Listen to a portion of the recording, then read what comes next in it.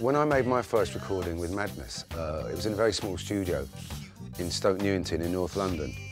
It was only when we arrived there that we discovered Elvis Costello had just finished recording Watching the Detective, so there were sort of outtakes of his recording, and I remember that very clearly. It appealed to me on a lot of levels. I mean, it's kind of got a funny reggae kind of backbeat to it, and a bit of twangy sort of Duane Eddy guitar. It's a very atmospheric and great song.